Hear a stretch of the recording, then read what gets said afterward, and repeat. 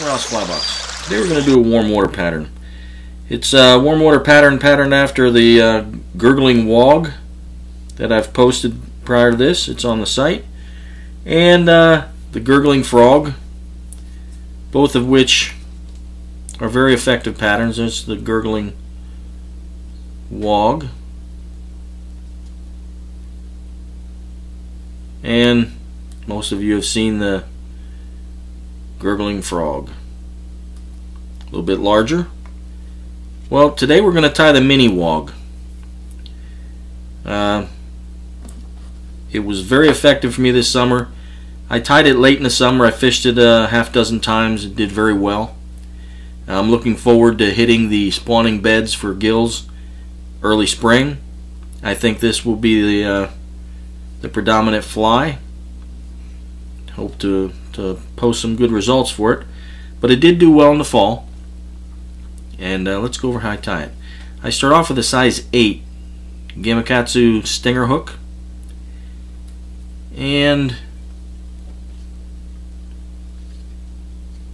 Danville 210 denier black thread. Then we're going to start our thread. High eye wrap a base back.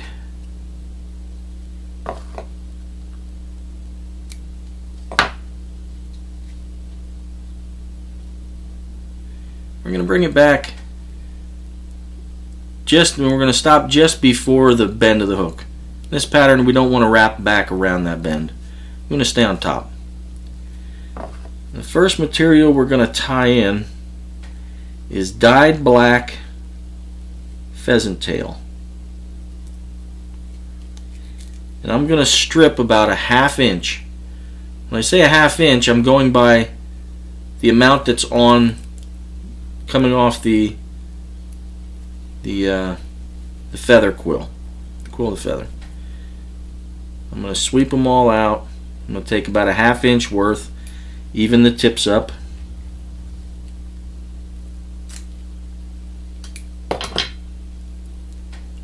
It's going to give us a sizable clump, but when it's tied in, it's not really that big. I'm going to measure it the length of the shank, the usable shank, the flat section, not the whole hook.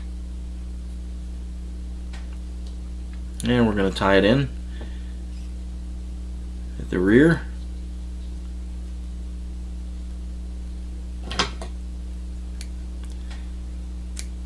And the next material we're going to tie in are tan silver badger Brahma feathers. These are hen feathers. I take two of them. I get them directional. And I line them up together. We're going to tie these in on either side. On either side of the tail. And we're going to keep them just like the tips are just past those pheasant tail fibers.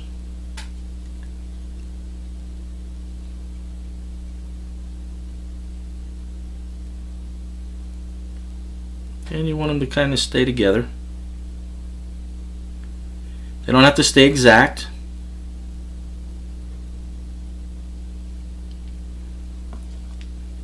And then we're going to apply two more to the other side.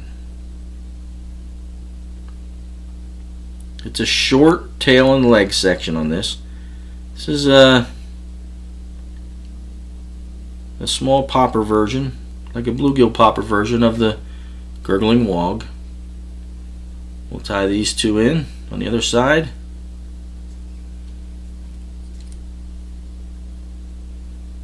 And again, they don't have to stay exactly together.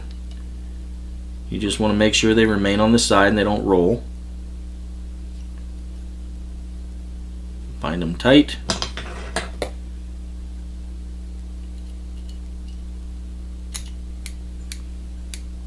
And trim off the butt section. Don't get too worried around that because you're going to bind down over that again. The next thing you're going to tie in is your foam body. just like the gurgling wog, this is going to only be about 3 sixteenths of an inch wide. I trim a point at the end. I'm going to tie that point in about a eye length behind the eye. Grab that tip, that locks it in. And then bind back over it.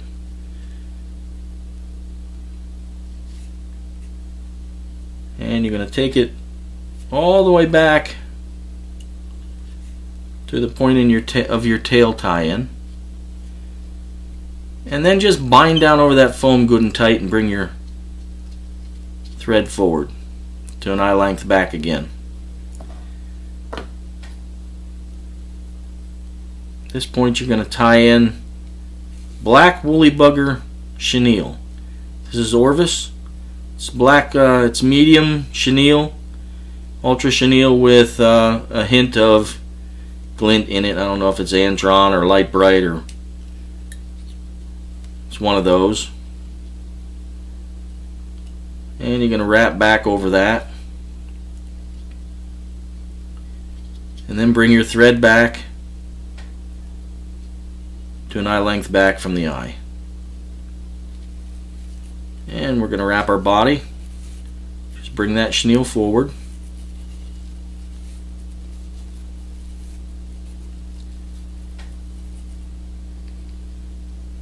And tie off.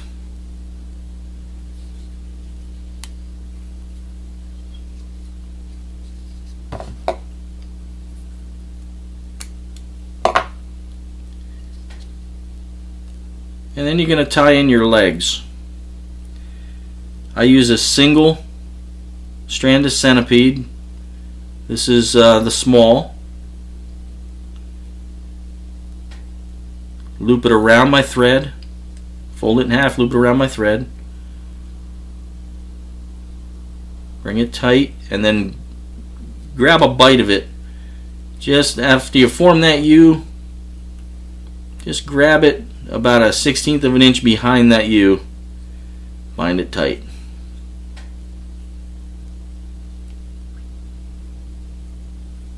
And then the next thing we're going to do is bring our foam forward. You're going to bring it forward. Pull it tight. Doesn't have to be pulled, you know, exceptionally tight. And bind that down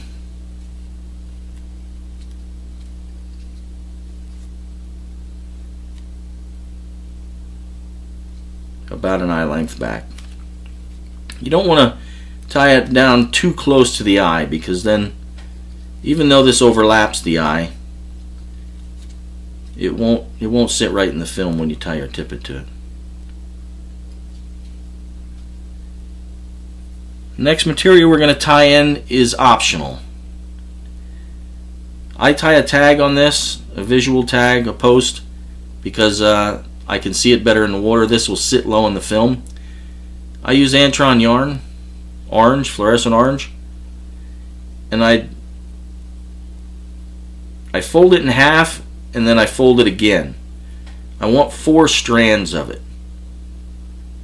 So I folded it in half, then folded it again, doubled it back on itself. So in essence, when I tie it in, there's four strands front and back. I tie it directional.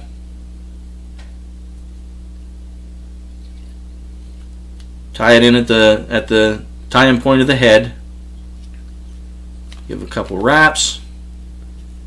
Then I fold the foam back. Build just a little bit of a head underneath there.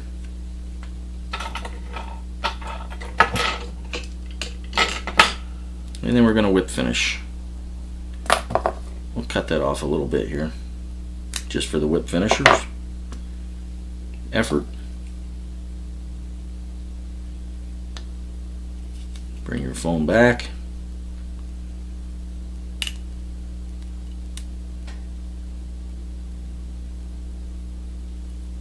Three turn whip finish.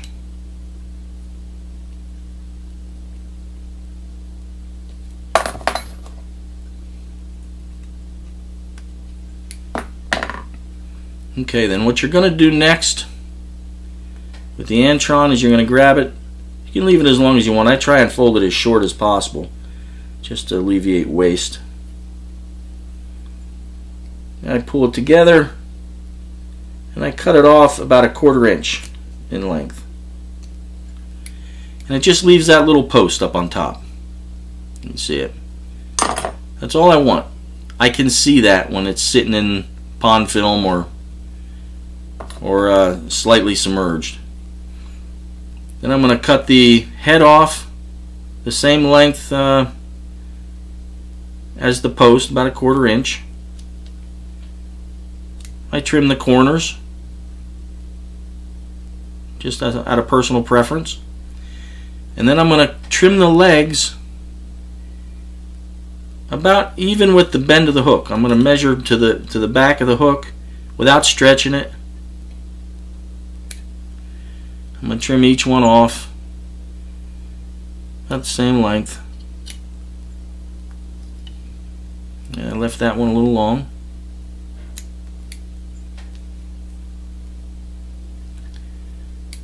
And there it is, the mini wog.